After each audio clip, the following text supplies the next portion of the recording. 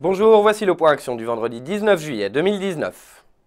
Le cours de l'action Saint-Gobain a clôturé en baisse hier, malgré le soutien de Goldman Sachs, qui entame le suivi à l'achat, avec un objectif de cours 20% au-dessus du cours actuel. Graphiquement, en revanche, le titre pourrait poursuivre sa correction entamée suite à l'échec, sous le seuil des 35 euros. Ainsi, le franchissement des 34 euros devrait conduire à un test des 23,6 de Fibonacci, situé à 33,63 euros. Retrouvez-nous dès 11h pour le Market Live et dès lundi pour d'autres analyses.